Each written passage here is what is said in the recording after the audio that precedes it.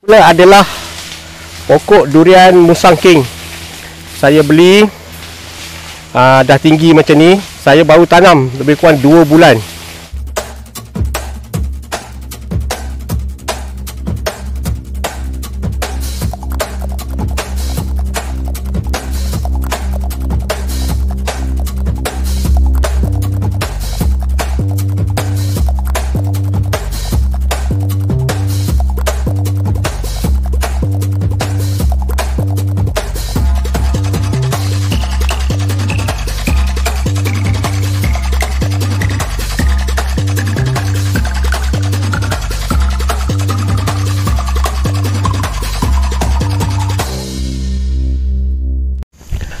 Hai, Assalamualaikum semua.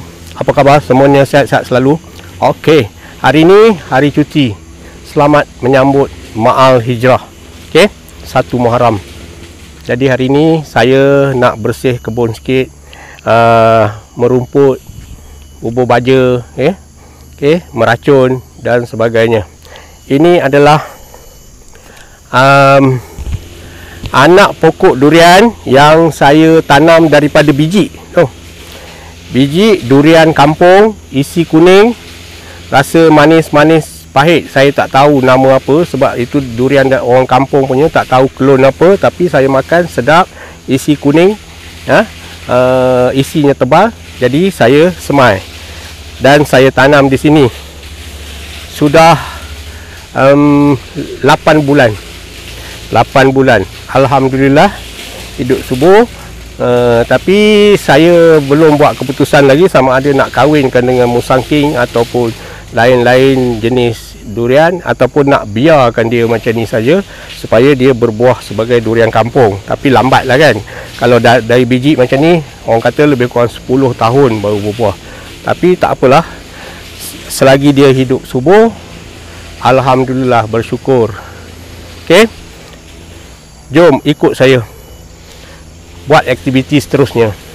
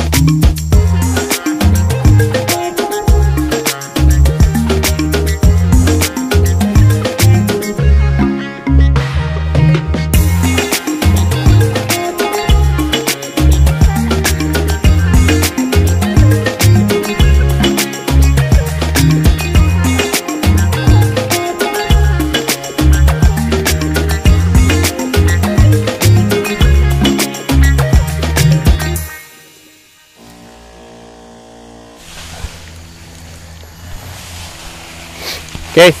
Yang ini pula adalah pokok durian Musang King.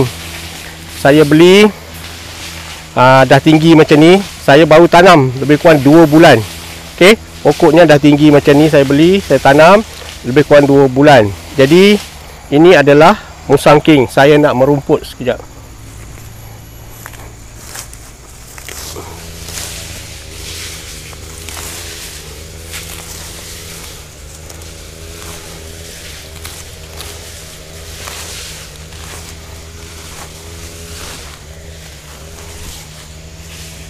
Sekejap saja rumputnya dah tebal.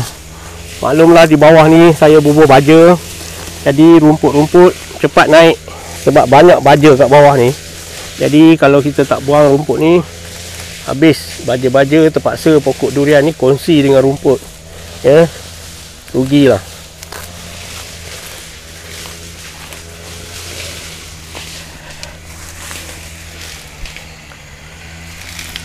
Terpaksa kita buat peneduh ni kerana dia baru lagi eh baru 2 bulan jadi dia manja tak boleh kena panas sangat jadi terpaksalah saya bubuh kelambu ni untuk melindung dia daripada cahaya matahari supaya tak kena tak panas sangat Okey.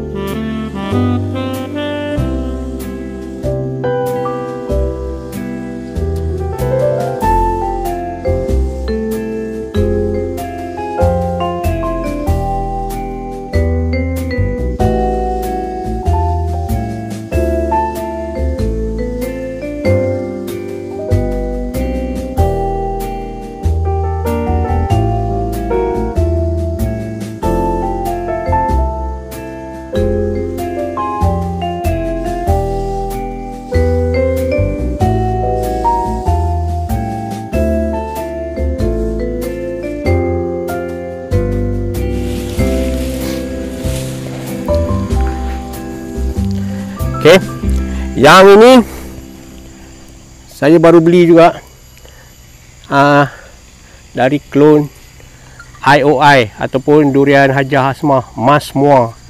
Ya, Hajar Hasmah Mas Muar IOI.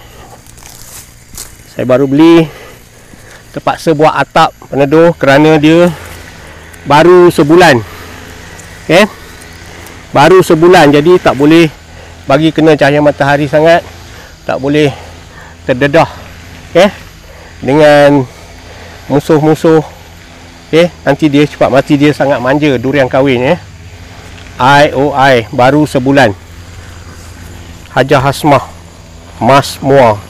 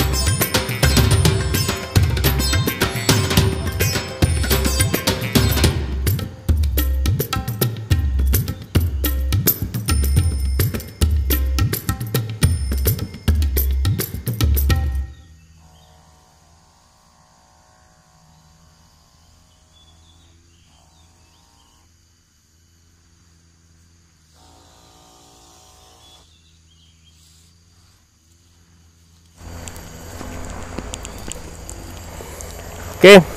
Yang ini pula. Durian teka. Teka saya baru beli sebulan yang lepas saya tanam. RM60.